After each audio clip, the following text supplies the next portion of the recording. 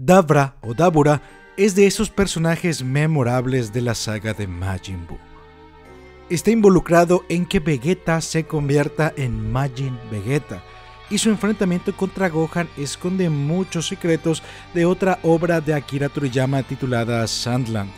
Sandland es el último proyecto en el que el maestro Toriyama estuvo involucrado y que va a tener una adaptación derivada de un videojuego para PlayStation 5.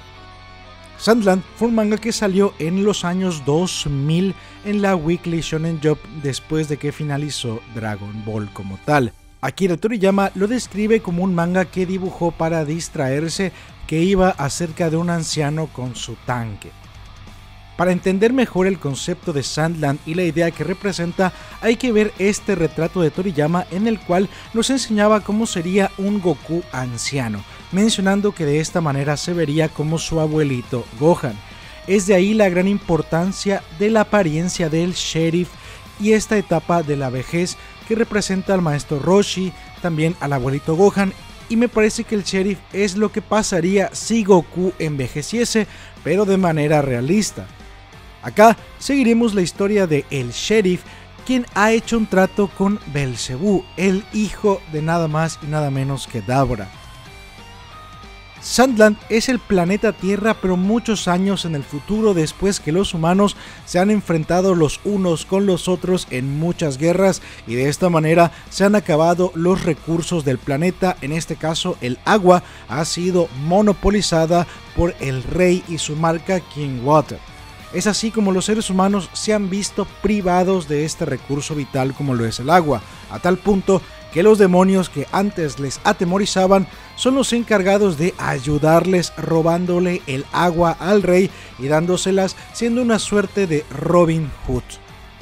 A cambio de una consola retro y unos discos originales de lo que parece ser una PlayStation 2, Belzebú termina pidiéndole permiso a Dabra para acompañar al sheriff a buscar más agua, es ahí donde terminarán secuestrando un tanque, siendo pues este prólogo que se adaptó y ya ha sido publicado de los primeros 15 minutos de la película de Sandland, que debe salir muy pronto el material completo.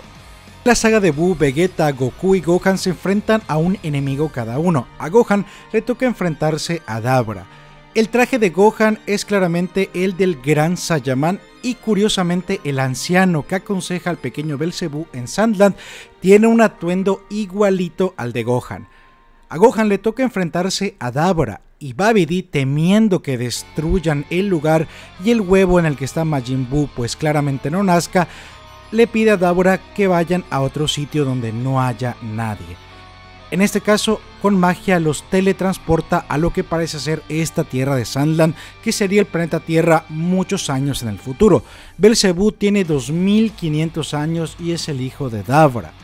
Acá se hace énfasis en que viven mucho tiempo. Estos demonios no son seres malvados, por el contrario, son demonios japoneses que sobreviven incluso al agua bendita de Occidente.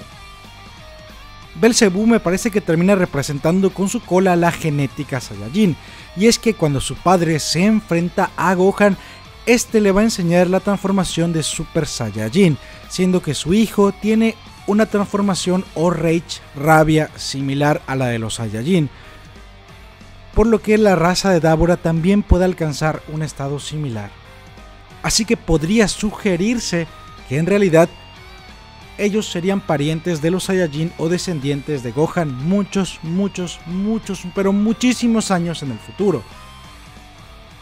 Así que toda la pelea de Gohan contra Dabra estaría desarrollándose en el planeta Tierra una vez se ha secado y los conflictos de la Tierra los han consumido, o yo creo es lo que Akira Toriyama termina representando.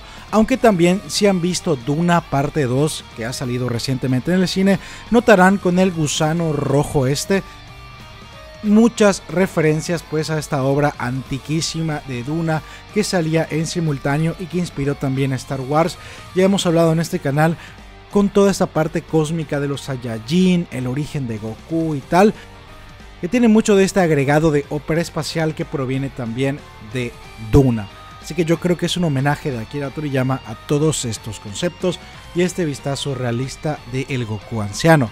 Recientemente han salido los primeros 15 minutos animados de Sandland esperando que salga el metraje completo. Pero pues quería comentarte esta curiosidad que se encuentra en Dragon Ball y que lo conecta con este otro manga de Akira Toriyama.